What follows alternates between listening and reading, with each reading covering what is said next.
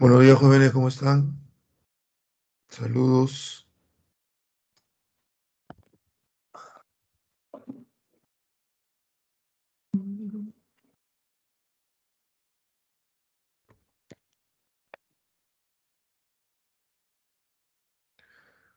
Por favor, escriban si me escuchan de manera adecuada.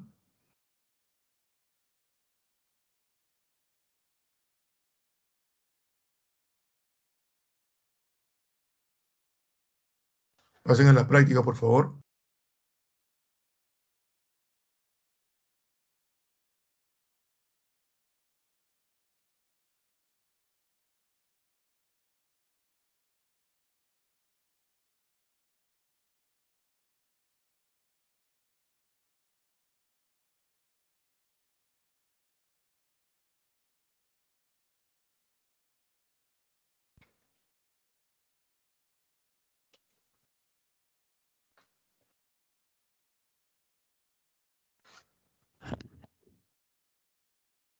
¿Me logran escuchar bien?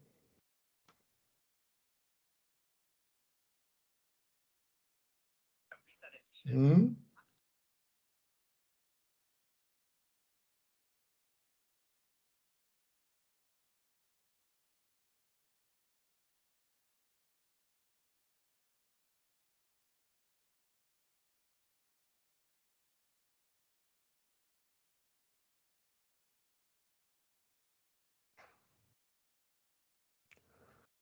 Gracias, Hayet.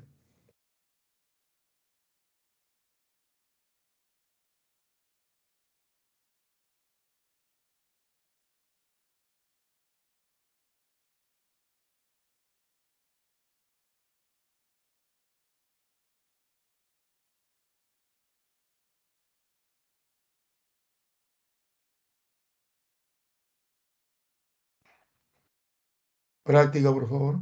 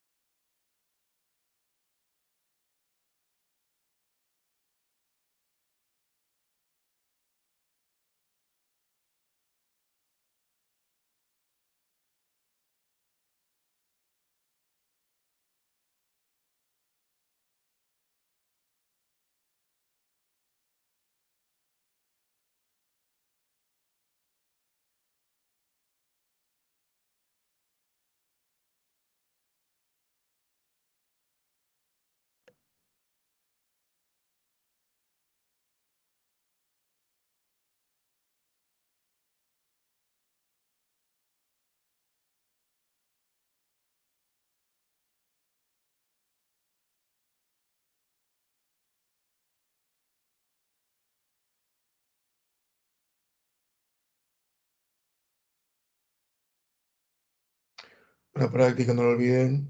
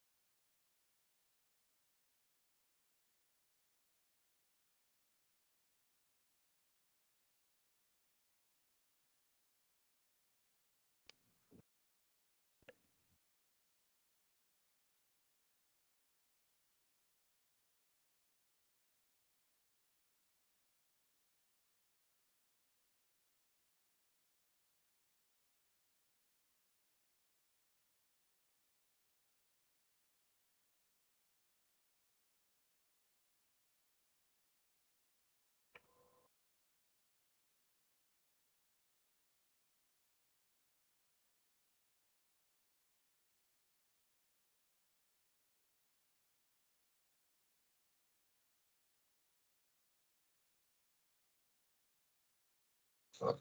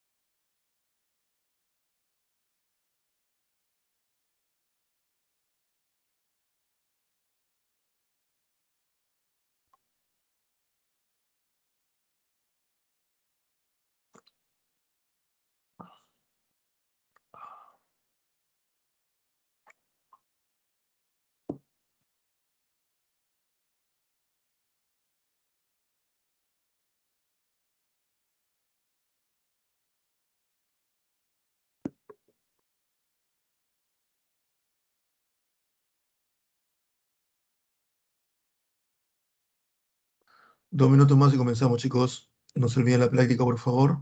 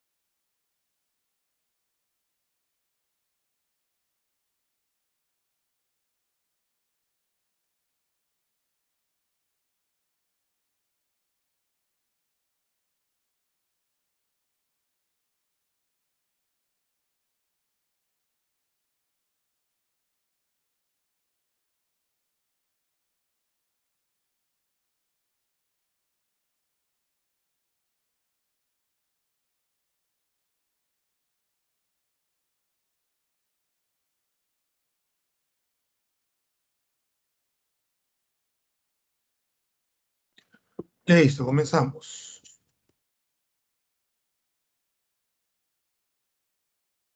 Continuamos con el esquema que hicimos la semana pasada y que obviamente está colgado en la, en la página, perdón, en la plataforma, ¿ya?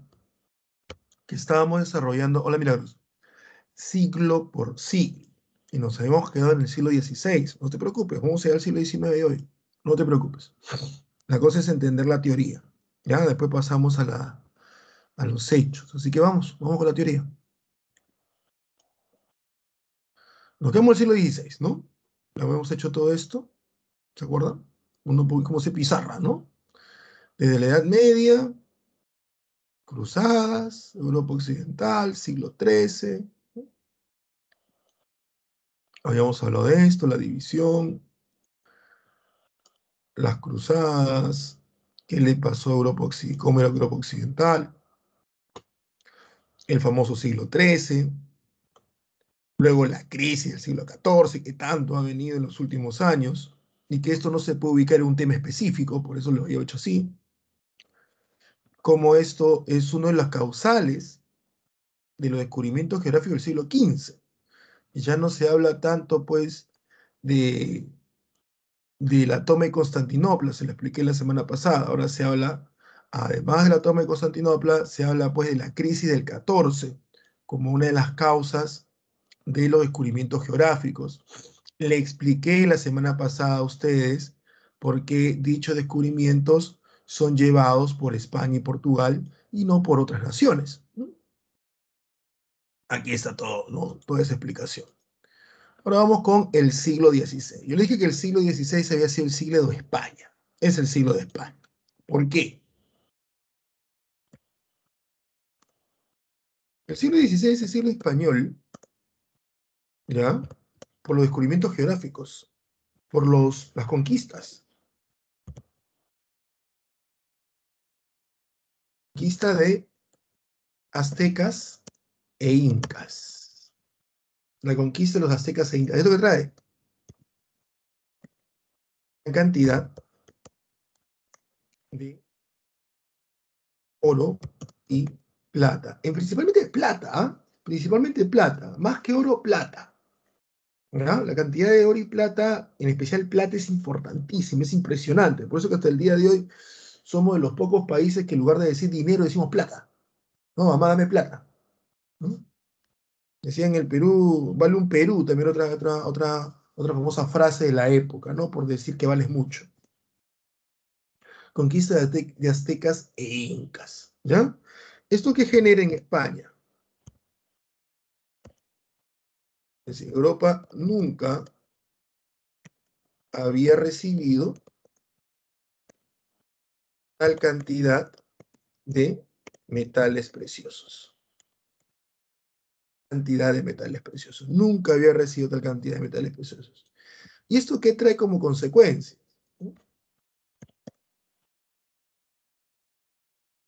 Consecuencias. Consecuencia. Como lo diría el mismo Karl Marx, el mismo Marx, que había estudiado esto, es que se impulsa el capitalismo.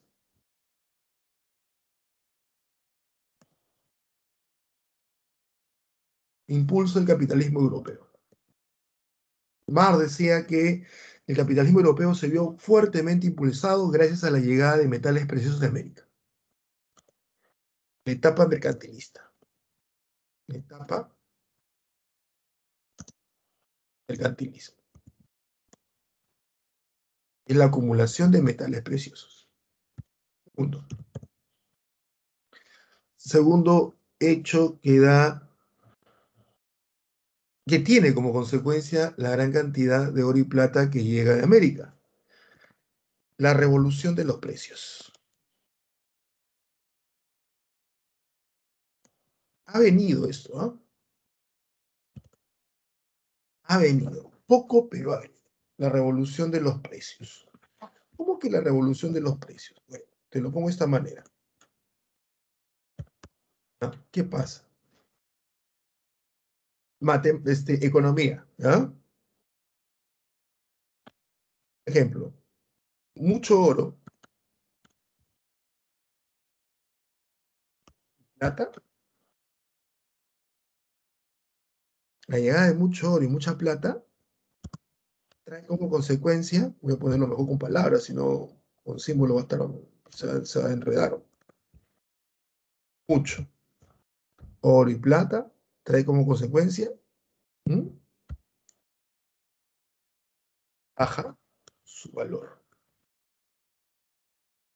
¿Y eso cómo? ¿Qué? Sube.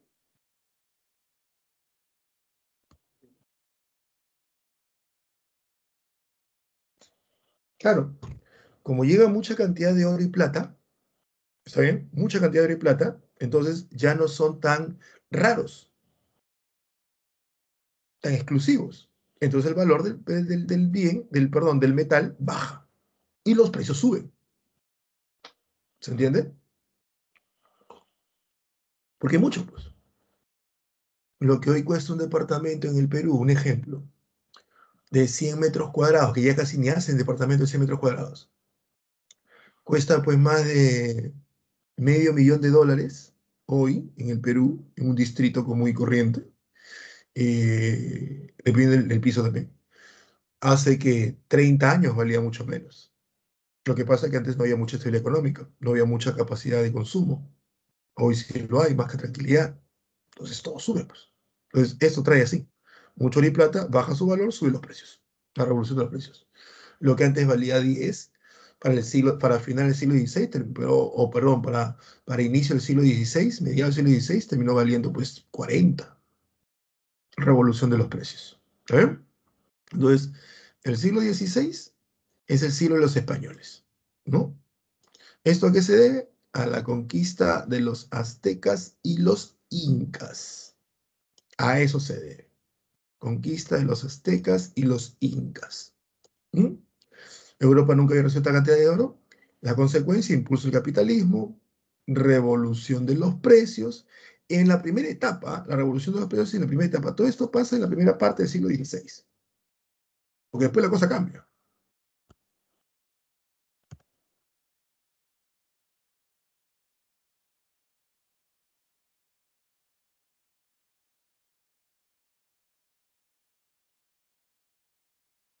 primera parte del siglo XVI. Esto pasa en la primera parte del siglo XVI. ¿Ya? Haz. Este periodo, eh, España es gobernada por los Habsburgos.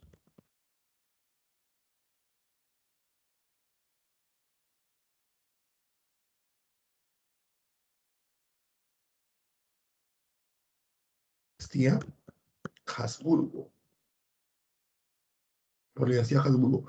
Tengan cuidado, ¿ah? he visto errores en algunos textos que ponen Habsburgo como Augsburgo. Libros. ¿No?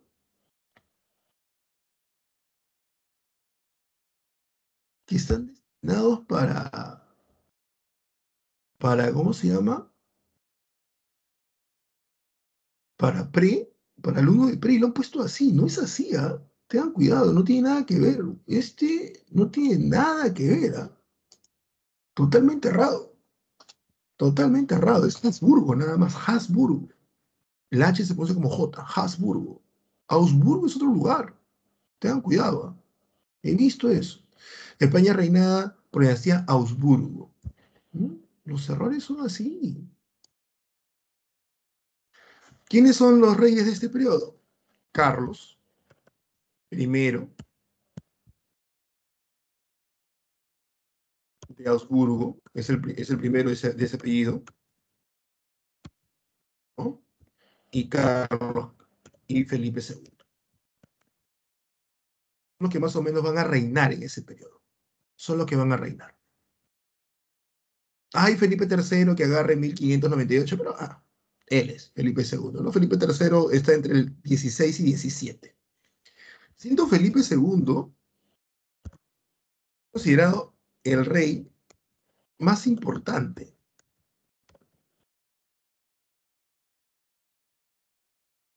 Europa en este siglo. El papá, tengo cuidado, mucho más que el papá. Mucho más que el papá.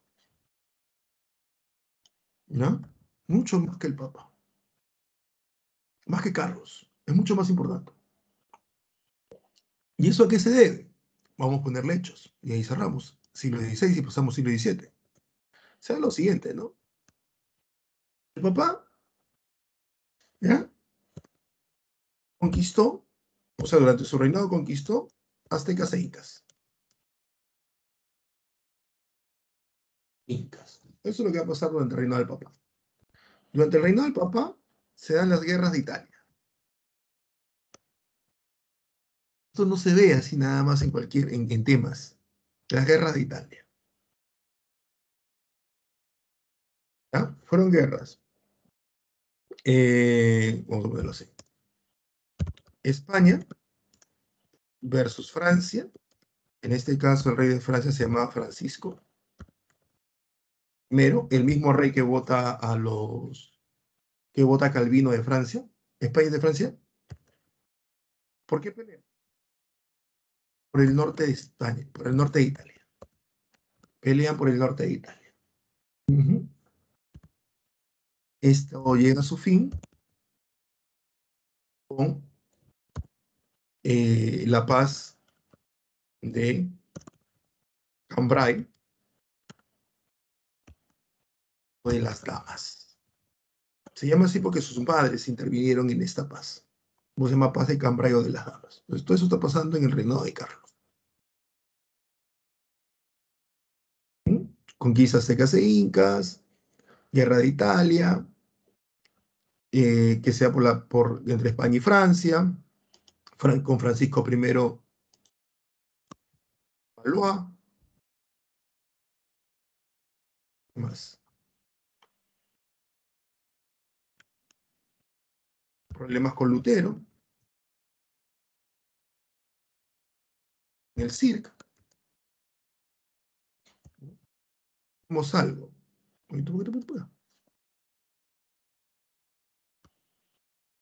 Sí, ahora se te ocurre eso.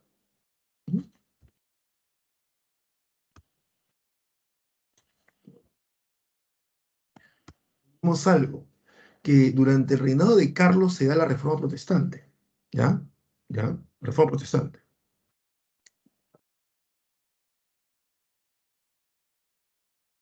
Protestante.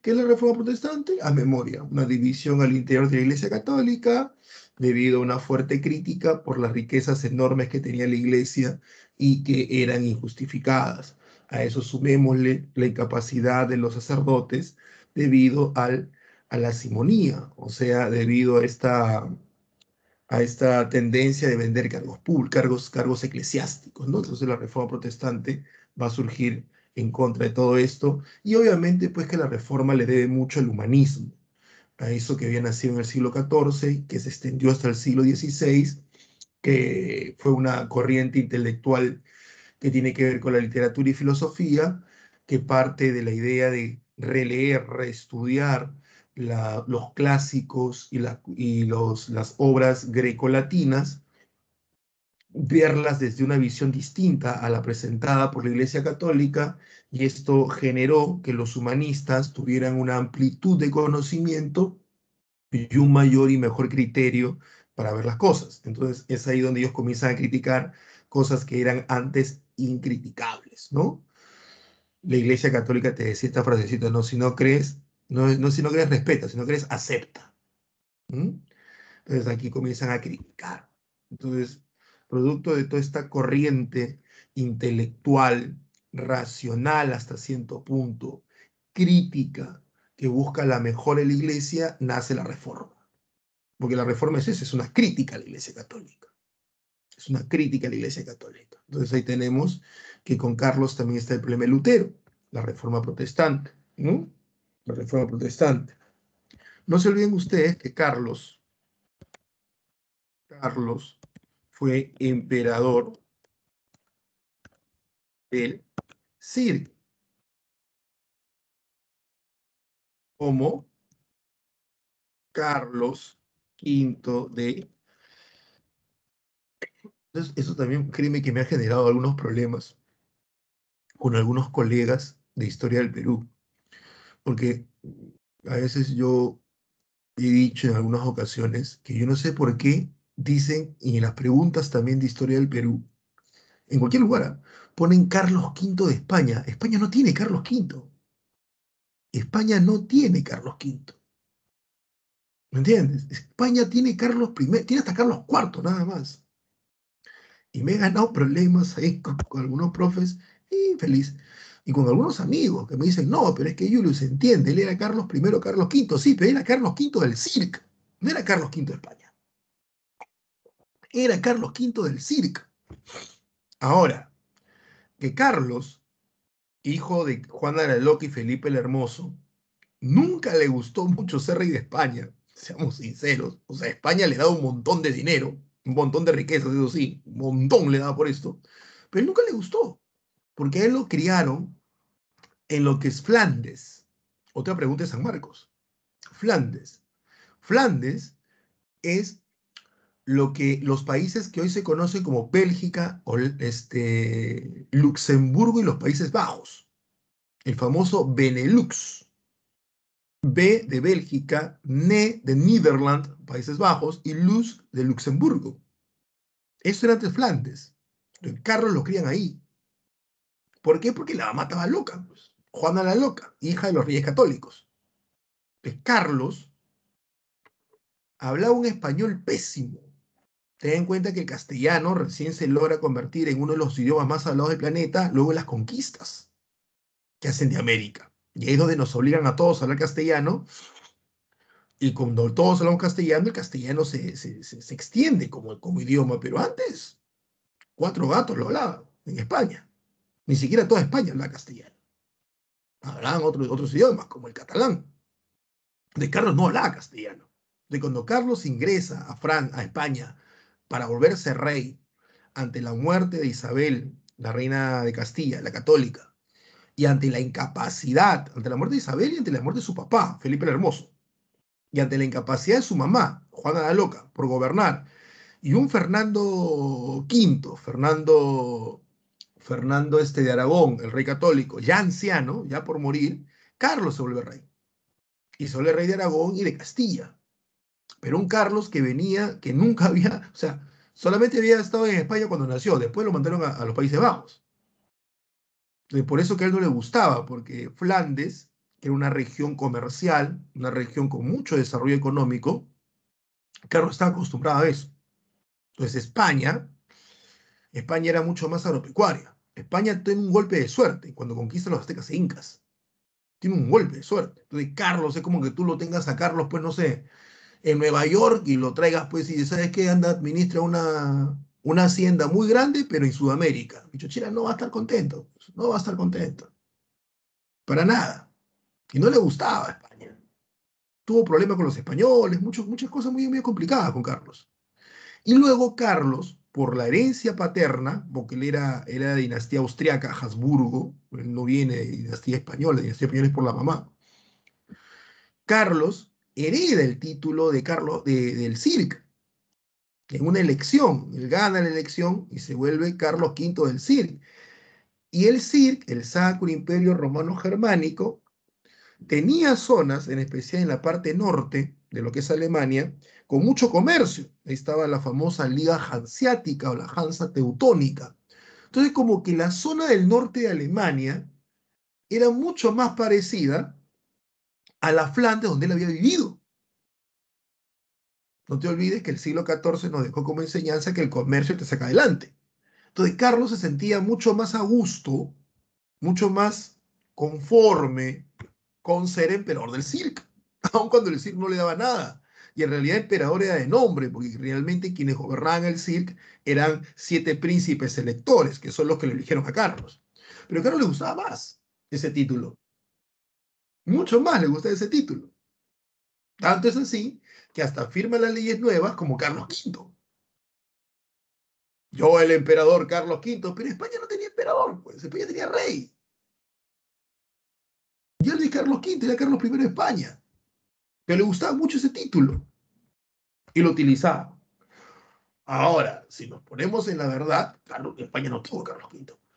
Entonces debería ser, como siempre, Carlos I de España o Carlos V del CIR. Pero si nos vamos a poner a decir todos sus nombres, olvídate, iría Carlos I de España, Carlos V del CIR. La pregunta es, ¿y qué Carlos, qué número de Carlos, porque yo no lo sé, que no me acuerdo, qué número de Carlos era en, el, en, en, Flandes?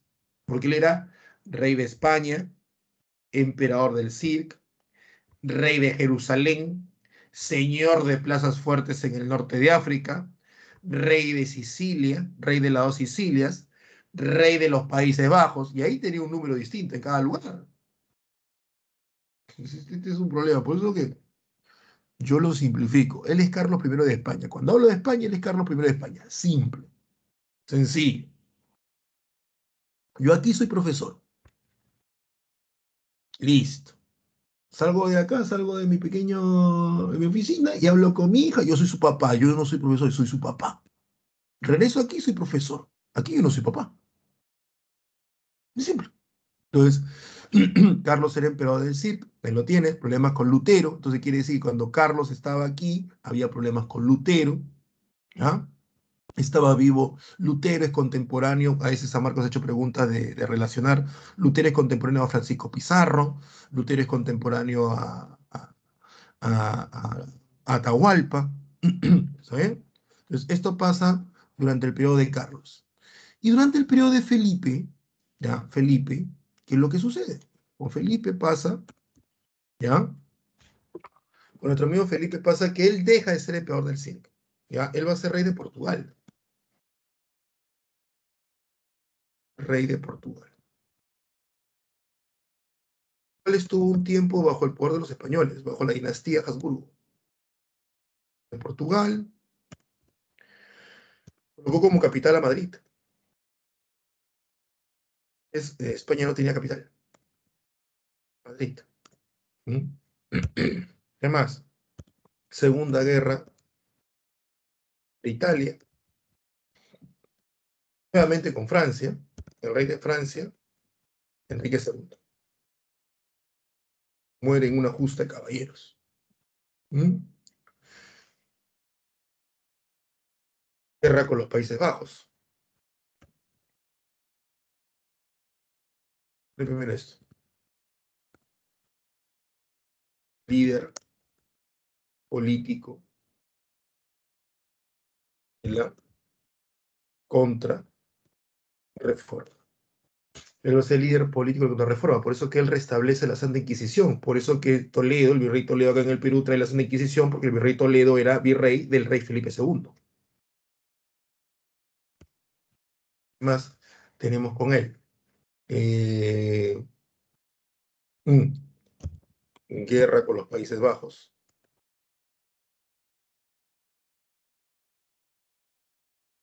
¿Quién era rey de los Países Bajos? Solo que los Países Bajos se volvieron protestantes y él no quería. Acá comienza una guerra que se conoce como la Guerra de los 80 años, es muy famosa. Guerra con los Países Bajos. ¿Ya? Eh, mm. Guerra con Inglaterra. La reina Isabel I. Dor, conocida como la Virgen, la Reina Virgen.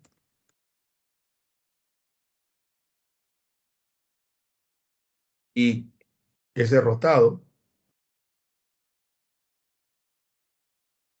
española, española, derrotan a la famosa Armada Invencible,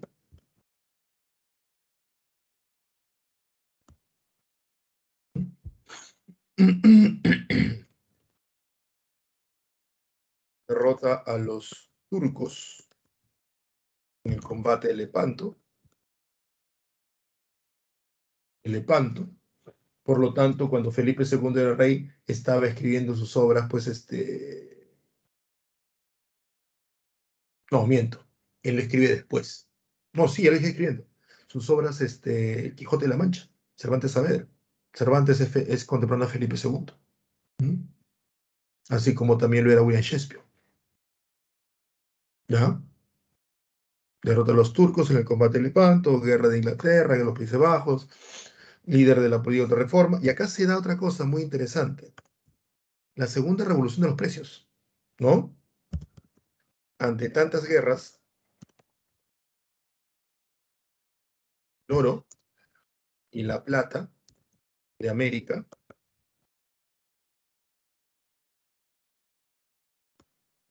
hasta más rápido.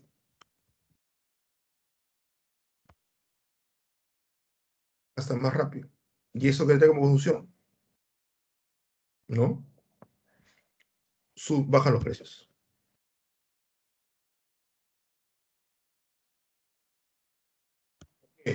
Hay oro, pero esta vez, al gastarse muy rápido, su, el tenerlo es muy efímero. Entonces se gasta demasiado en cosas como pagar soldados, armas, pertrechos, y esto hace que la presencia del oro en España sea menor y por lo tanto sus precios vuelven, a subir. Y al volver a subir los precios, perdón, al volver a subir su valor, bajan los precios. Y así, tantas guerras del oro y la plata. Una de las cosas que acá me está olvidando colocar era, como consecuencia, impulsó el capitalismo europeo, revolución de los precios, esto me está olvidando colocar. ¿No?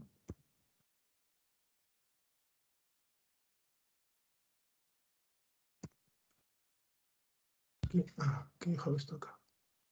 Esto me está dando colocarlo. C, ¿no? El Océano Atlántico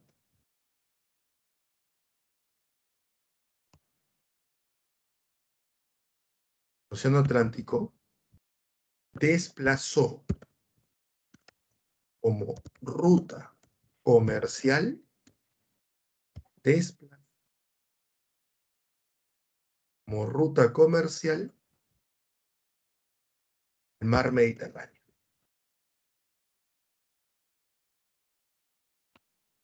En el mar Mediterráneo va a perder, Italia va a perder mucho poder, mucho, mucho poder. El Océano Atlántico lo desplaza. ¿Ya? Felipe II. Entonces, ese es el siglo XVI. El siglo XVI español. Es el siglo XVI. Y entramos, ya estamos entrando al siglo que nos interesa, al siglo XVII. Es un siglo muy interesante. ¿ah? También San Marcos lo ha preguntado. ¿Por qué es tan interesante este siglo? Todos lo son, ¿no? Bueno, este, este siglo muy. Déjenme un ratito, por favor. Voy a decir alguna pregunta, duda. ¿Ya? ¿Tiene alguna consulta, duda? Pregunten.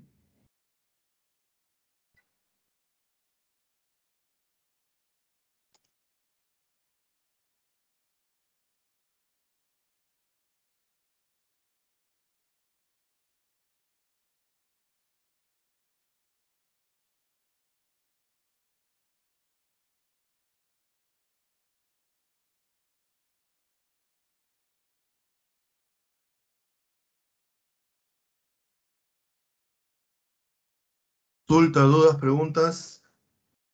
¿Hasta aquí? Recuerden que ustedes son avanzados, tienen que ser teoría.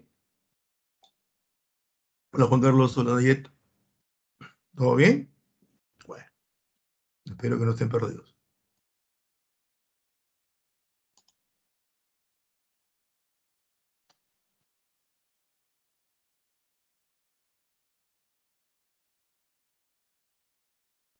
Me preguntan, Inglaterra, ¿qué cultura conquistó o no había nada?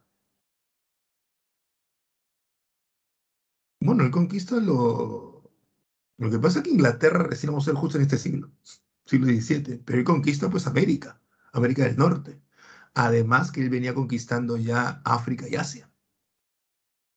Pero todavía no lo vemos, ¿por qué? Porque el siglo de los ingleses, siglo XVIII, ¿no? Es así. En el siglo XVI, Inglaterra lo que tenemos es su reforma protestante. Tenemos a los Tudor, a Enrique Tudor, Enrique VIII, María, Isabel. Lo que pasa es que como es un resumen bien apretado, estoy destacando los, reinos por siglos que son más importantes. Siglo XV fue Portugal, a finales del siglo XV. Siglo XVI España, ¿no? Siglo XVII va a ser Francia. y el siglo XVIII va a ser Inglaterra. Y ahí voy a hacer un resumen, qué es lo que planteaba Francia, qué planteaba Inglaterra, ¿no? Para ubicarlo más o menos. A ver, siglo XVII. Dos cositas sobre este siglo. Primero, que este siglo se caracteriza porque nos presenta una crisis. Otra más, otra más. La crisis del siglo XVII. ¿Eh? Aquí tenemos otra crisis feudal, conocida como la crisis del siglo XVII. Es decir, crisis feudal, la crisis del siglo XVII. Eh, para algunos no es una crisis en sí, para otros historiadores sí, la crisis del siglo XVII. Hay una mini del hielo, lo cual produce también descenso en la producción, pero lo vamos a hacer por reinos. Entonces, lo otro que nos interesa que fue, fue el sí los franceses. Fue el siglo de los franceses. ¿Eh? Fue el siglo de los franceses. Fue el siglo de Francia. Vamos a verlo por reinos. Vamos a verlo por reino. ¿Ya? Por reinos. Por reinos. Por reinos importantes. Reinos.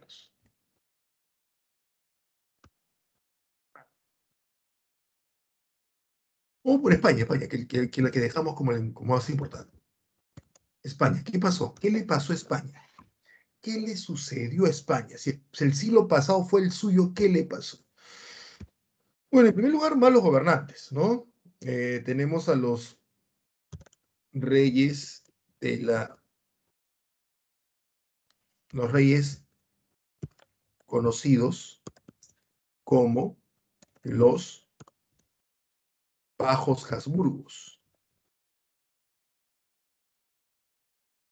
Se le conoce como o Austrias menores. Recuerda que el apellido Habsburgo es austriaco, o Austrias menores. ¿En qué se caracteriza?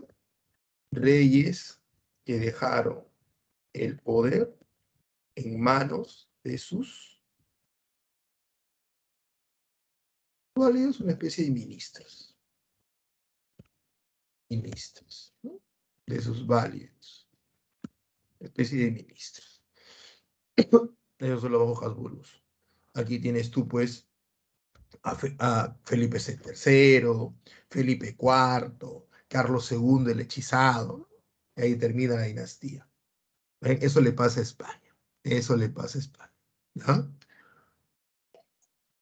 Intervino una guerra que sale, le sale mal parado. Intervino en la guerra de los 30 años. 1618 a 1648, la guerra de los 30 años. Es considerada la última gran guerra religiosa de Europa. Esta guerra tiene su origen en el CIRC, en el Sacro Imperio Romano Germánico. No entiendes por qué España interviene, porque España está relacionada muy fuertemente al CIRC por lazo de parentesco. Y es una guerra religiosa entre católicos, representados por el emperador del CIRC, y protestantes, representados por eh, los nobles del cirque. España entra en esta guerra a favor de los católicos, pero termina perdiéndola, termina perdiéndola. Entonces, en el caso de España, tenemos estos problemas, y además viene esto, que ustedes lo ven en Historia del Perú, ¿no? Eh, ¿Cómo lo ponemos? Yo la tributación en las colonias americanas. La cantidad de oro y plata que comienza a llegar desde América comienza a reducir de manera muy fuerte, muy fuerte. Esto preocupa demasiado los españoles, pero como estamos en una dinastía de los bajos Habsburgos o los Austrias menores, todo tipo, pues, todo lo dejaban en poder de sus ministros, ¿Ya? ¿Qué es lo que va a pasar? Lo dejaron.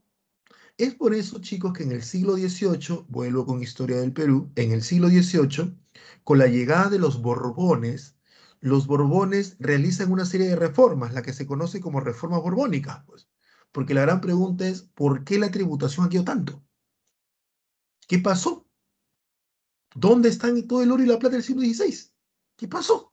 Entonces, ahí viene, ¿no? Entonces, crisis, ¿no? Crisis en los reinos, España, los reyes de Bajos Habsburgos, interviene una guerra de 30 años, ¿no? La cual es derrotado, vamos a poner acá, derrotado, derrotado, cayó la tributación de las colonias americanas, por lo tanto, España entró en crisis. ¿Mm? España entró en crisis. Es simple. Por el contrario, tenemos a Francia. Luego tenemos a Francia. Francia. Francia es distinto. En primer lugar, cambia de dinastía, ¿no? Cambio de dinastía. Finales del siglo XVI. ¿Cómo cambió? De la Valois a la Borbón. Cambia de dinastía Francia. Cambia de dinastía Francia. Como te dije, este es el siglo de Francia. ¿no? Este es el siglo de Francia. Cambia de la, de la Valois a la Borbón, ¿no? Los reyes más importantes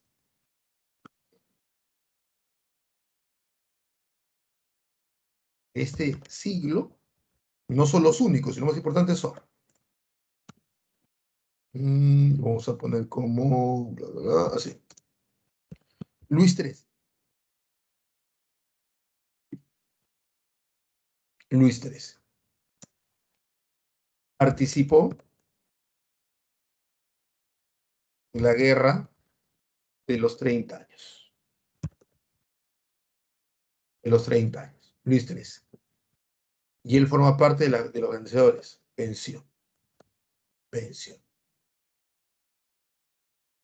Ministro de San Marcos fue el cardenal Richelieu. El Richelieu. Él es famoso por qué? ¿Mm? Bases del absolutismo francés.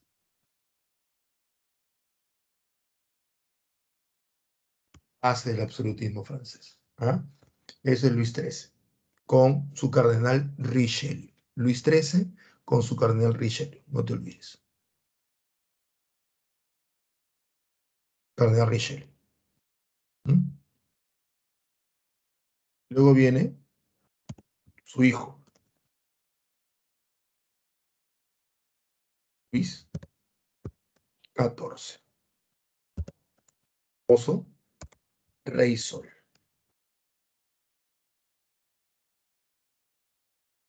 Máximo exponente del absolutismo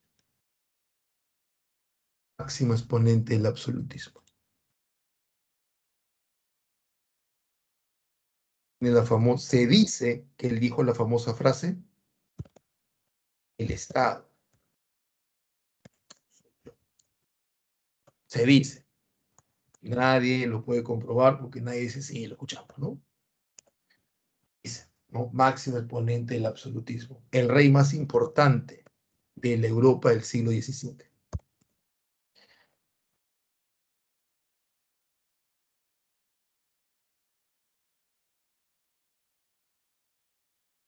El siglo XVI fue Felipe, el siglo XVII es este.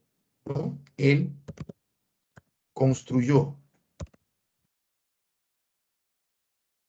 el Palacio de Versalles. Él sometió a la nobleza francesa. Sometió a la nobleza francesa. Ese es Luis XIV el rey sol.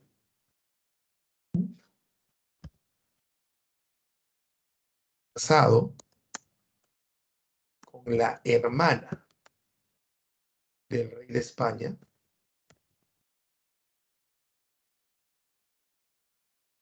Carlos II el hechizado.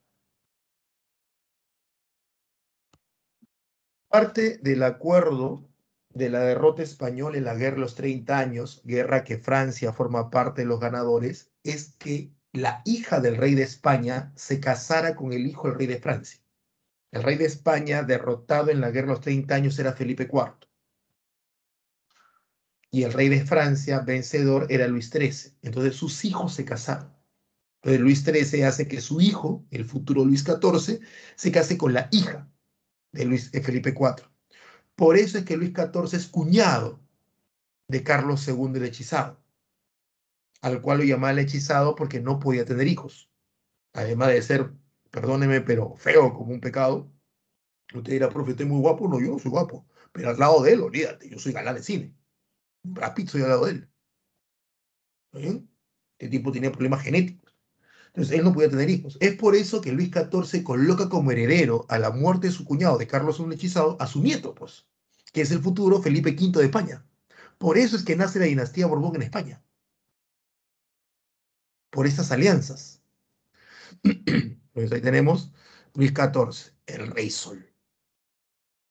El rey sol. Luis XIV. Pues Francia, este va a ser su siglo de Francia. Este es su siglo de Francia. Pero este siglo llega a su fin con la famosa Guerra de Sucesión Española. Y la firma el Tratado de Utrecht. Pero para que entiendas esto, tenemos que ir al otro reino. Inglaterra. Inglaterra. ¿Qué podemos decir de Inglaterra en este siglo? Cambia de dinastía también. De dinastía. La dinastía Tudor a la Estuardo. Dinastía Tudor a la Estuardo. No se olviden que la última reina Tudor fue Isabel, la reina virgen, llamada así porque no tuvo hijos, ya que nunca se casó. Entonces, si no tiene hijos, ¿cómo traslada el apellido? Entonces, ella nombra como heredero a su sobrino, al rey de Escocia, Jacobo I Estuardo. A él lo nombra como heredero. Por eso que esta dinastía, por eso que Inglaterra cambia de dinastía. y acá en este periodo lo que nos interesan son dos reyes. No, por su, no porque sean los más importantes, sino por lo que le hicieron a esos reyes.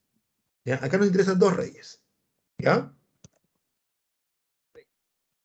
Nos interesa. Ojo, ¿ah? vuelvo a insistir no porque fueran los más importantes, sino por lo que le van a hacer esos reyes. En primer lugar, el primer rey de este periodo es Jacobo I. Jacobo I Estuardo. Él es el primero de esta, de esta, de esta lista de reyes. A él nos interesa. Carlos I Estuardo. A él, a él le realizan, pregunte San Marcos, ¿ah? la revolución de 1648 la revolución de 1648, que termina con la muerte del rey, lo terminan matando. La revolución de 1648, donde tiene como objetivo esta revolución acabar con los intentos absolutistas del rey. mira cómo mira la diferencia. Mientras que en Francia tienes un rey absolutista, en Inglaterra no lo acepta. Inglaterra no acepta. Tanto así que este rey Carlos tenía intenciones, tenía intenciones, oye, ¿sabes qué? Me gustaría y le hace una revolución solo por decir me gustaría, nada más. La diferencia entre Inglaterra y Francia. Carlos, revolución del 48, en contra de las ideas, ideas ¿ah? absolutistas del rey. Enfrentó el Parlamento fue ejecutado. Y fue ejecutado. ¿Qué también tenemos en este periodo? La primera república inglesa. Inglesa. Este personaje, el protector de la república. ¿Puede creer que San Martín se pone protector? Oliver Cromwell. Oliver Cromwell. Él propone leyes muy proteccionistas, pero eso va a ser después. Carlos I. Muerto Oliver Cromwell durante este periodo donde no hay rey, donde hay una república, ¿ya? Viene el hijo de Oliver, de Carlos, perdón, Carlos II. Carlos II Estuardo, que él nos va a dar el, el, el, habeas corpus. Y luego viene este rey, que también San Marco ha preguntado, ¿no? Que es Jacobo II. Jacobo II. Él, porque él era católico, en un mundo donde todos eran anglicanos. Católico. Anciano ya, católico, pero a él lo que nos interesa es que le hacen la revolución en 1688, también conocido como la Revolución Gloriosa. La Revolución Gloriosa, así la llamo. La Revolución de 1688, la Revolución Gloriosa. ¿Por qué se ha ido? En contra, en contra del deseo del rey de nombrar a su hijo católico, a su hijo católico, como heredero. Heredero. El Parlamento lo hizo renunciar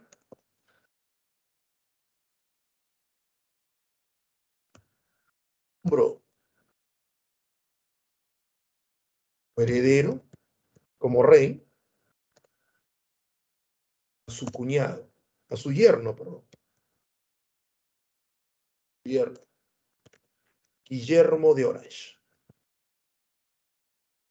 Guillermo Orange. A raíz de esta revolución, el Parlamento inglés sería permanente. Sería permanente. Conso, pregunta San Marcos, consolidán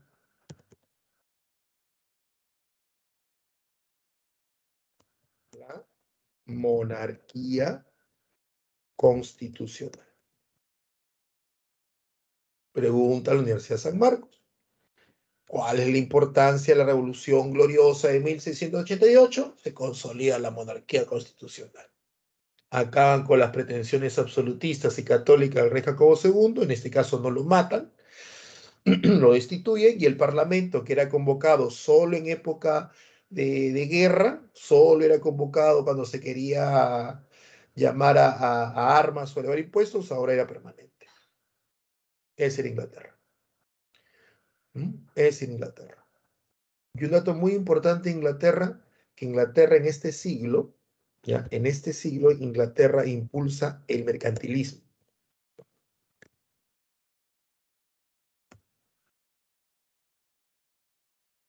Inglaterra en este siglo desarrolló la económica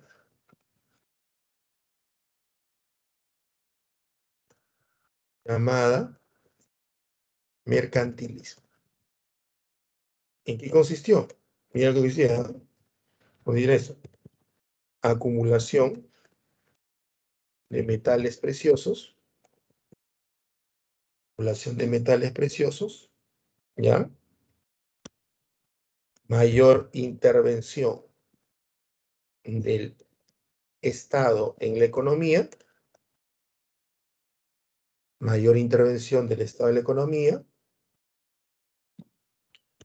reducir importaciones y aumentar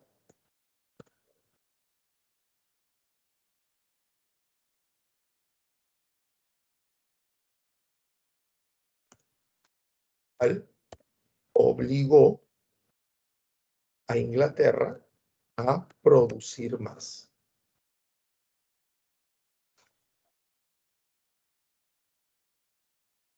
Eso les trae un problema a ellos. ¿Cuál es el problema? ¿Cómo produzco más? ¿Cómo produzco más? Es muy fácil decir hay que producir más. Produce, pues. ¿Cómo produces más? Es por eso que los ingleses comienzan a impulsar la búsqueda de la mayor producción. Y ahí desarrollan la ilustración en el siglo XVIII. Una ilustración que tiene como objetivo la búsqueda de solucionar este problema. ¿Cómo produzco más? Lo cual termina generando en el siglo XVIII la revolución industrial. ¿Ves? Todo tiene un porqué. ¿Ya? Entonces, ese es del siglo XVII, que fue el siglo de los franceses, pero mira cómo es distinto para cada país, ¿no? España es su quiebra, Francia es su siglo, más en el plano político, ¿ah? mientras que Inglaterra se está preparando. ¿no? Inglaterra tiene problemas internos, pero se va preparando. Y así es como entramos al siglo XVIII. Siglo XVIII. El siglo XVIII es inobjetablemente el siglo de los ingleses.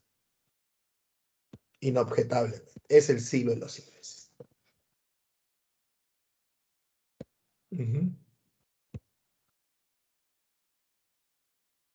Siglo de Inglaterra. Siglo de Inglaterra.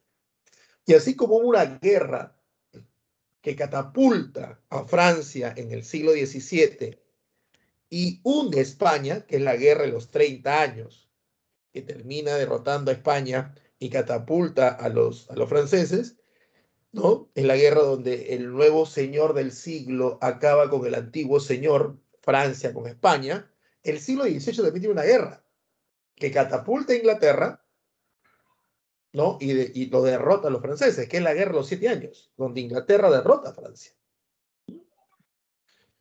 Es el siglo de Inglaterra, ¿ya? Siglo XVIII. Y este siglo se caracteriza, pues, por ilustración. Este siglo se caracteriza por dos cosas, dos eventos. Dos eventos.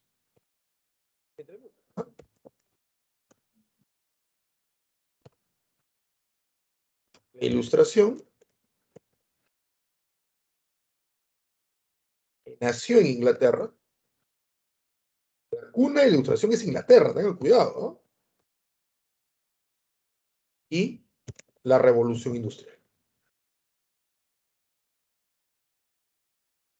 También nació en Inglaterra. Ahora ganó el euro, pero ahí está, ¿no? Bien, nació en Inglaterra la Ilustración y la Revolución Industrial. Dos eventos importantísimos del siglo XVIII. Y obviamente, pues, el tercer evento, ¿no? Es la Revolución Francesa. La Revolución Francesa, que el miércoles es su aniversario, 14 de julio, la toma de la Bastilla. La Revolución Francesa, ¿no? Es el siglo de Inglaterra, eso es inobjetable. ¿Está bien? No se olviden eso, ¿eh? No se olviden de eso. Cuando hablamos de la ilustración, ya para ir cerrando esto, pasar a tus preguntas. Estamos hablando de el uso de la razón. El uso de la razón.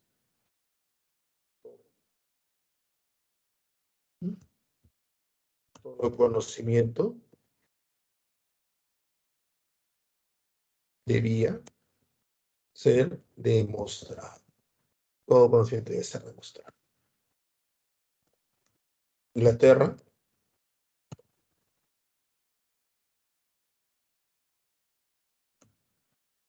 La ilustración.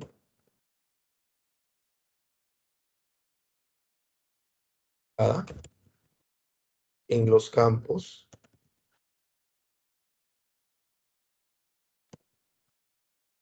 la ciencia y la tecnología. Esto tuvo como concepto desarrollo de la revolución industrial.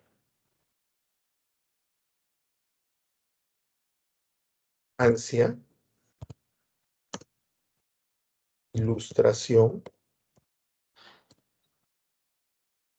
fue desarrollada en el plano de la filosofía y la política.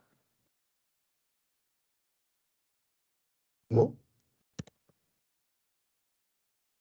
Acabar con el antiguo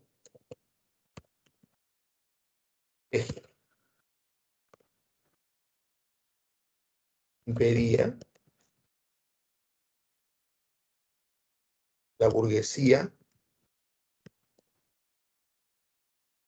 francesa que estaba dentro.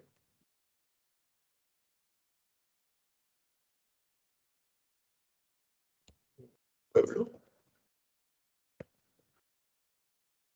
La burguesía francesa tuviera poder político. Era poder político. La burguesía francesa entendió que sí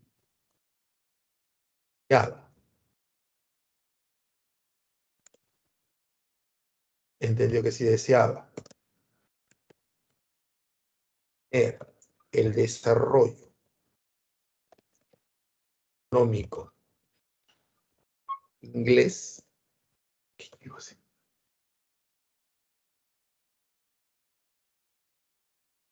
primero debería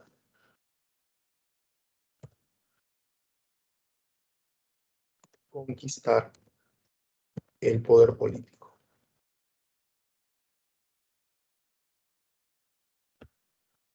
¿No? Por eso que la, la, ilustración francesa se encamina a ese punto, ¿no?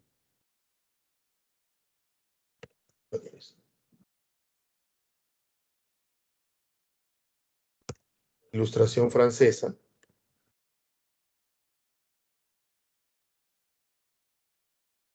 tendrá o tuvo consecuencia Revolución Francesa.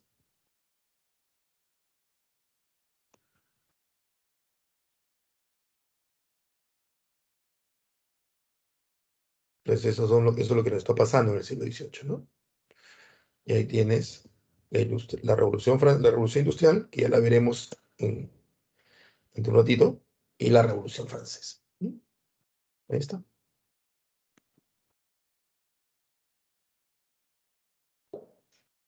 Entonces, sobre la Revolución Francesa, que ya está harto conocido,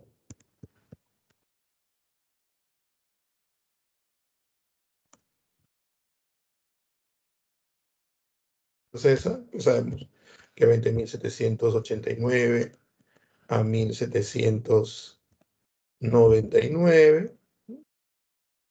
Voy a ponerlo acá abajo.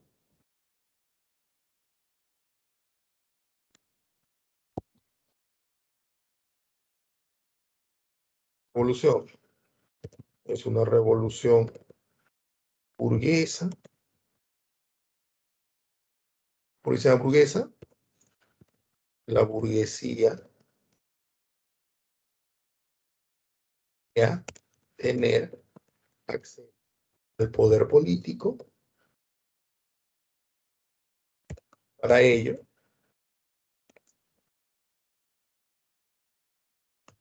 debe acabar con el antiguo régimen Para ello debe acabar con el antiguo régimen. La burguesía desea tener acceso al poder político y para ello debe acabar con el antiguo régimen que le impide ello. Es por eso que ellos impulsan la, revolución. Eh, fue una revolución carácter.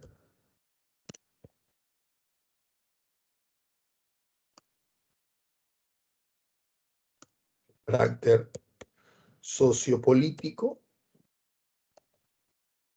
la revolución de carácter sociopolítico, esa fue la revolución francesa, una revolución de carácter sociopolítico, ¿no? Donde nos plantea una sociedad de igualdad y una política con división de poderes. Igualdad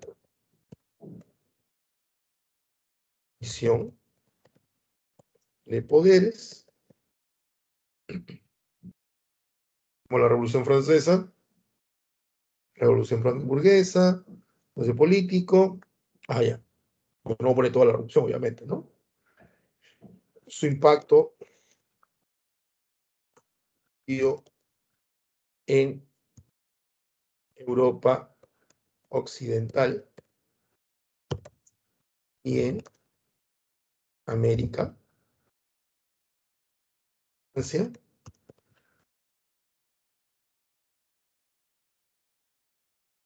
La poesía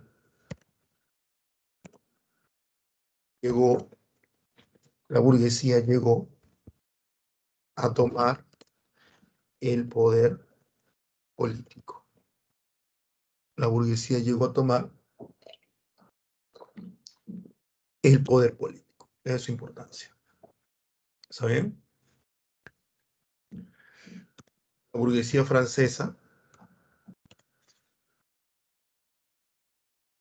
francesa deseaba una monarquía constitucional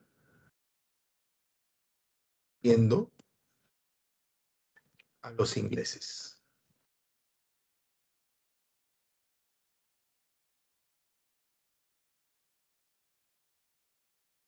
Viendo a los ingleses. Ya sabes que tiene dos etapas, la etapa monárquica y la etapa republicana que viene? La era napoleónica. Era napoleónica. Y aquí lo voy a cerrar para hacer las, preguntas. La era napoleónica que nos, nos trae de 1799 a 1815. La napoleónica. Todo esto lo cuelgo nuevamente, te preocupes. ¿ah? es en esta era? Napoleónica. Napoleón presentó reales burgueses de Francia. Napoleón representó los ideales burgueses de Francia. ¿Cuáles son esos reales? ¿ah? obviamente el alcanzar el poder, ¿no? Representado en, en las palabras libertad, igualdad y fraternidad. Napoleón representó los ideales burgueses de Francia. Las monarquías europeas que defendían el antiguo régimen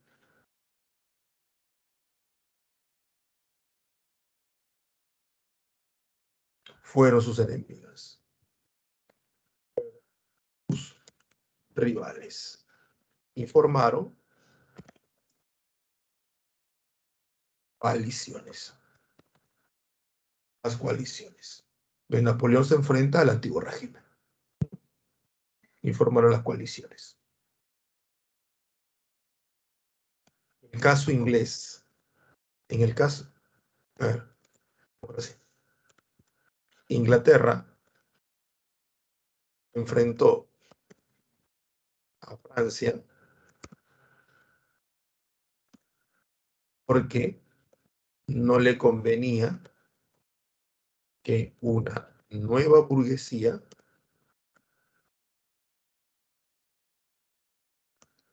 rivalizara con el. Caso de Inglaterra, Inglaterra no es una monarquía absoluta, pues Inglaterra no es antiguo régimen, pero Inglaterra forma parte de los enemigos de Napoleón porque no le interesa que Napoleón pues desarrolle una nueva burguesía que lo rivalice los ingleses. O sea, sí es una cuestión de mercado.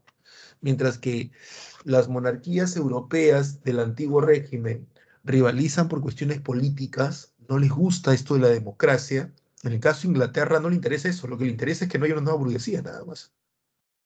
Y cuestiones así, ¿no? Y por último, las etapas de Napoleón tenemos el consulado. Consulado va de 1799 a 1804. Aquí su obra máxima es el Código Civil. Napoleónico. Tenemos el Imperio. Va de 1804 a 1814. ¿Es eso? Y tenemos la restauración borbónica, que es cuando Napoleón es derrotado por primera vez y traen a los borbones. Y por último tenemos el gobierno de los 100 días. Bien. Uy, me pasé. El gobierno de los 100 días, que es en 1815. 1815. Ahí es donde Napoleón es derrotado en la batalla de Waterloo, ¿no? La importancia de Napoleón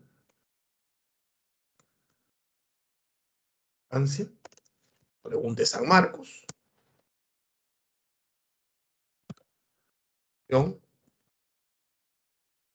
Por sus campañas llevó los ideales de la revolución por toda Europa.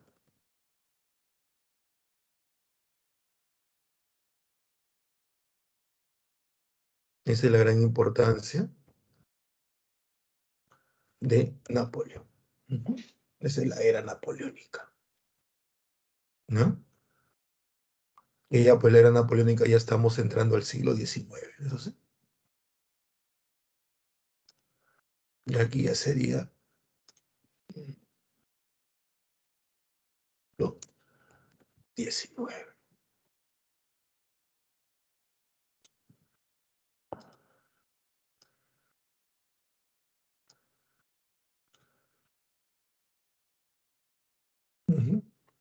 Listo, vamos con tus claves, seguimos actualizando esta hojita.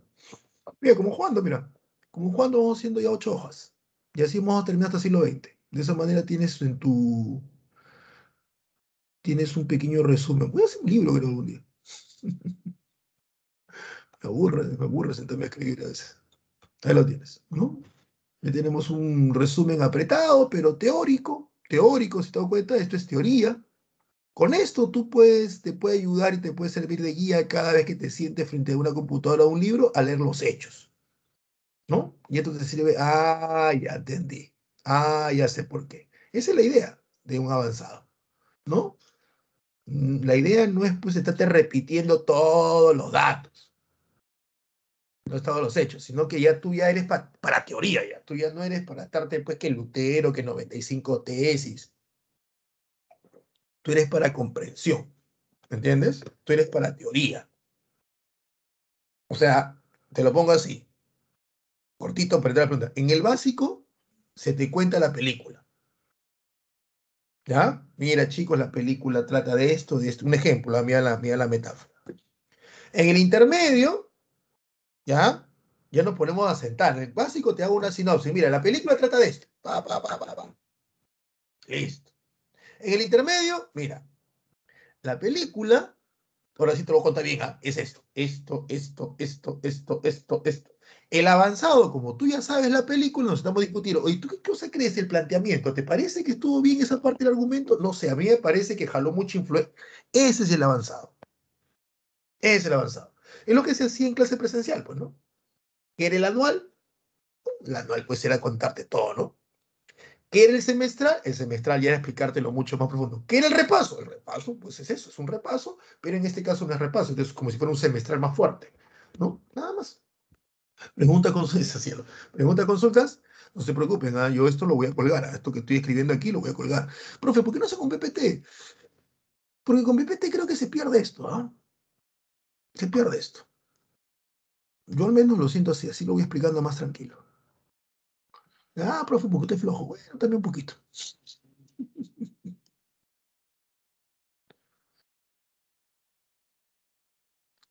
Vamos con las preguntas, algunas preguntas, ¿no? Que usted ya lo, lo está manejando. Gracias, cielo. A ver. Ordene cronológicamente. Golpe el 18 Brumario, este es de Napoleón, 1799. Guillotinamiento de Luis XVI, 1792. Gobierno del terror. Tome la Bastilla, te lleva. A ver, primero la tome la Bastilla. Primero, 1789. Después viene la batalla de Valmy, 1791. De ahí viene que guillotinan a, Luis XVI. De ahí viene el gobierno del terror y el golpe del 18 Brumario, que es el que cierra la revolución. Entonces sería cuatro. Esto se da en la Asamblea Constituyente. Cinco, Asamblea Legislativa. Dos, Convención Nacional, etapa girondina. Tres, Convención Nacional, etapa jacobina. Y uno, directorio, Napoleón. 5, 4, 2, 3, 1. Acá está la clave. Bueno, también es el único que tiene 5 primero. Sobre la, sobre la Revolución Francesa señala lo correcto. El proletariado francés, esta es una pregunta de San Marcos, ¿ah? el, que todo lo es proletariado. El proletariado francés eran los sans-culottes, sí, la gente pobre de, París, eran los ánculos. Una de las causas fue la grave sequía, sí, también, claro. Una sequía enorme, además de la crisis económica, que la agravó. La Bastilla fue tomada por el marqués Lafayette. Mm. A ver, la Bastilla fue tomada por los Anculotti y por la Guardia Nacional. Si no hubiera sido imposible tomar la Bastilla, teniendo en cuenta que es una fortaleza. La Bastilla fue tomada porque ahí adentro había comida y había pólvora. el pueblo se moría de hambre. No tenía mucha hambre. El 14 de julio amanece con la noticia de una gravísima crisis económica. Y los, este, lo de la Guardia Nacional estaban pólvora. Y la Guardia Nacional estaba liderada por Marqués Lafayette, así que por ahí puede ser. ¿La batalla de Valmy, los austriacos y prusianos fueron derrotados? Sí, sí. Napoleón, apoyado por la burguesía francesa, llegó en inglés esto, al poder con la finalidad de poner orden en Sí, todas son correctas. Todas son correctas. Sobre la Convención Nacional señala lo correcto. En su debido momento estaba conformado por la llanura o pantano girondino jacobino. Sí. Entre sus obras más importantes encontramos la Declaración de los Derechos. No. La Declaración de los Derechos del Ciudadano es en la Asamblea Constituyente. La Francia revolucionaria estuvo asediada por las potencias absolutistas en el frente externo y por la conspiración contra la revolución en el interior, que origina el gobierno. Sí, Robespierre es elegido para poner orden. Durante el gobierno de los jacobinos, Luis XVI, no, es durante los girondinos, no es jacobinos. No es jacobinos, no. Luis XVI no es ejecutado durante el gobierno de los jacobinos, él es durante el gobierno de los girondinos, que son los republicanos moderados. Los Anculón toma el palacio de, las, de, de las tuberías de justicia. No, ¿cómo que justicia? Justicia significa matarlo. No, no, no. Entonces sería 3, 3-1. Acá. Perdón, perdón, perdón, perdón. La primera coalición contra Francia se formó durante el gobierno del terror, consulado, bueno, el gobierno del terror, durante la, la, ¿cómo se llama esto? la Convención Nacional ante el, ante el guillotinamiento del rey Luis XVI. ¿Cuál fue el objetivo fundamental del bloqueo continental aplicado por Napoleón sobre Inglaterra? Arruinar el comercio inglés. Napoleón se da cuenta que las coaliciones estaban siendo financiadas por Inglaterra. Entonces, como Inglaterra financiaba las coaliciones, había que acabar con ese financiamiento. Napoleón había tratado de atacar a Inglaterra vía mar, pero había fracasado. Es por eso que Napoleón, al darse cuenta que no puede hacerlo por el mar, fracasó, el famoso combate de Trafalgar. Napoleón, Napoleón, perdón, Napoleón. Napoleón decide hacerlo a través de un bloqueo, ¿no? El famoso bloqueo continental, que determina fracasando porque Portugal no, no acepta, lo cual lleva a que Portugal sea invadida por Napoleón ¿ya? Y luego, este, Rusia se levanta, ¿no? Y Napoleón va hacia Rusia, que ahí ya tenemos la famosa historia de Napoleón con los rusos. Los ejércitos de Napoleón Bonaparte recorrieron el continente europeo y derribaron viejas distancias, dinastías es acá, no es distancias. Acá el corrector ha jugado una mala, una mala pasada.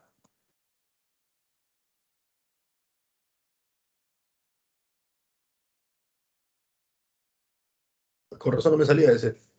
Dinastías monárquicas cumplieron el trascendental misión de. Acá está la clave. dije, ¿no? Propagar la conquista de la revolución burguesa. El proceso de restauración europea se dio luego, ah, bueno, la restauración europea, que también lo planearemos viendo la próxima semana, pero ustedes esto lo han visto porque estos temas se han visto en el intermedio. La restauración, la restauración es ese periodo que va de 1815 al 30, donde con Napoleón ya preso en la isla de Santa Elena, de la cual no saldrá, morirá en 1821, y las monarquías europeas de corte absolutistas o antiguo régimen consideraron, consideraron que era el momento de, de restablecer la monarquía en Europa. ¿No? Ahí lo tienes. La Revolución Europea se dio luego de la abdicación de Napoleón y el destierro de la Elba, la coronación de Napoleón, luego la derrota de Napoleón Trafalgar, de la derrota napoleónica en la campaña de Rusia. Acá todos son derrotas de Napoleón. ¿Cuál es? Profe, ¿cuál es? Ah, ya. En realidad la restauración tiene como inicio, se dice, el Congreso de Viena. Y el Congreso de Viena se reúne en Viena, Austria, por primera vez, cuando Napoleón fue derrotado en la batalla de Leipzig, la cual termina mandando a Napoleón a la isla de Elba. Entonces Napoleón abdica en ese tratado. La clave es esta. La. Luego Napoleón regresa, el Congreso de Viena se, disuelve, forman una última coalición, lo enfrentan a Napoleón en la batalla de Waterloo, lo vuelven a derrotar, lo vuelven a enviar, pero esta vez a la isla de Santa Elena, y es ahí donde se vuelve a reunir el Congreso de Viena y ya se divide en Europa. Para contrarrestar los ideales revolucionarios y nacionalistas, se formó la Santa Alianza, que estuvo conformada por Rusia, Austria y Prusia el que ideó la Santa Alianza, esta, esta alianza militar de monarquías europeas para evitar que vuelva a surgir la Revolución Francesa, obvio cosa que no pudieron evitar, porque después vendrá la Revolución del 30 y el 48, ¿ya? Esta Santa Alianza la conforman tres reinos, tres reinos nada más, ¿está bien? Tres reinos, ¿ya?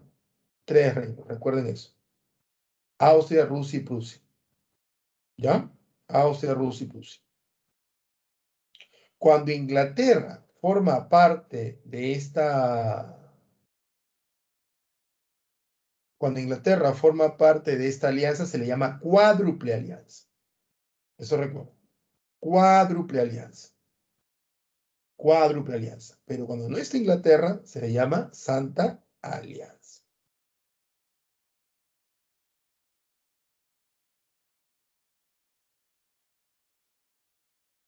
La idea es del, zar Alejandro I y el que lo impulsa es el, el, ministro Metternich.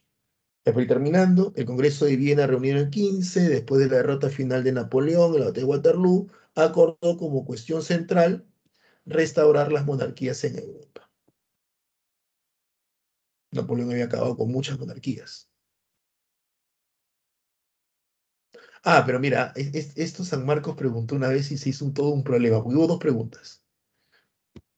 Estas dos son claves. Estas dos son claves. Estas dos son claves. Ahora, ¿cuál de las dos es? ¿Cuál de las dos es? En realidad, las dos fueron objetivos. La nueva demarcación política y la restauración borbónica. Pero de las dos, la demarcación política fue la más importante, porque a Inglaterra le interesaba eso, ya que a Inglaterra no le interesa la monarquía absolutista, pues. Esta es la clave. San Marcos hizo esa pregunta una vez. Problemón fue, porque todos marcaron la letra B y jalaron. Por que San Marcos años después la vuelve a preguntar, pero quita la alternativa D y coloca solamente la B. Porque esta alternativa D es la clave, pero es con una explicación un poquito más profunda cosa que no pedía San Marcos. O sea, San Marcos te pide algo para academia, pero la pregunta no vino a nivel academia. Ahí fue ese, fue el problema que hizo que se criticara mucho. La prohibición de los banquetes públicos se hace en París durante la revolución de dicha prohibición ocurrió durante el gobierno. Ah, la prohibición de los banquetes, acuérdense, es contra el Felipe I en la revolución del 48. Hay dos revoluciones más después de la francesa, la revolución de 1830 y la de 1848. Esta revolución es en contra de los abusos de la burguesía. Mira, contra la burguesía es esta, de los abusos de la burguesía. Un aspecto importante de la revolución del 30 y el 48 a que aparece el liberalismo, que son los ideales de la Revolución Francesa, pero ahora en estas revoluciones, y los conceptos de nacionalismo, que también lo vamos a ver la próxima semana. El nacionalismo que ustedes han visto ahora expresado en el fútbol, ¿no? Que no es broma, no es broma. El nacionalismo es eso de pertenecer a una nación y el concepto de nación nace en este periodo. ¿no? Ayer los pobres italianos celebraron su campeonato, pero le han dado de alma a los, y, ¿por qué? Porque los hinchas ingleses que sienten que la nación inglesa van y le pegaron a los italianos. ¿Cómo es posible que me ganes la Eurocopa en mi propio cancha? ¿Verdadero y falso? Según la segunda revolución industrial estuvo presente Japón. Sí. Ahí tienes tu era Meiji, ahí tienes a tu Batusai. La base energética de la primera revolución fue el vapor. Sí. La primera revolución industrial es contemporánea de la independencia del Perú. Sí lo es. Sí lo es. Clave.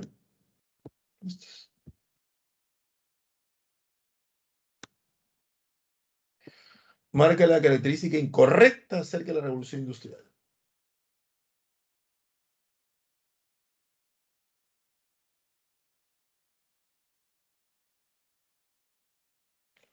Es una combustión a motor para, como motor acabó como motor y propulsor de las máquinas, introducción del motor de combustión interna, sustitución del hierro por el acero en la industria, reemplazo del vapor por electricidad y los derivados del petróleo, esa es la clave.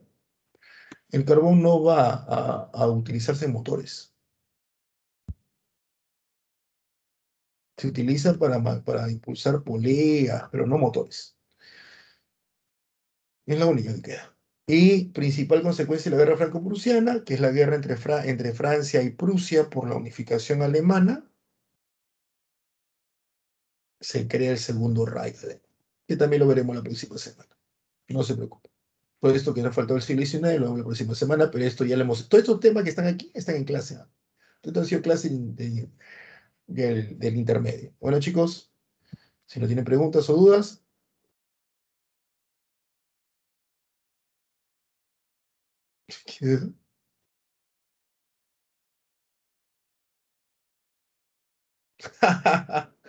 Listo, Joel, gracias. Si no tiene preguntas o dudas, nos vemos la próxima semana con siglo XX y seguimos con esa hojita y seguimos con la explicación siglo por siglo de forma de teoría. ¿Ya? Venga repasando, obviamente. Cuídense bastante. Hasta la próxima semana. Chau. Yo cuelgo eso hoy día también, ¿ah? Yo lo cuelgo hoy día, como lo colgué la semana pasada. ¿Listo, Juan? Espero que les haya gustado y hayan entendido. Hasta la próxima semana. Chao, cielo. Gracias.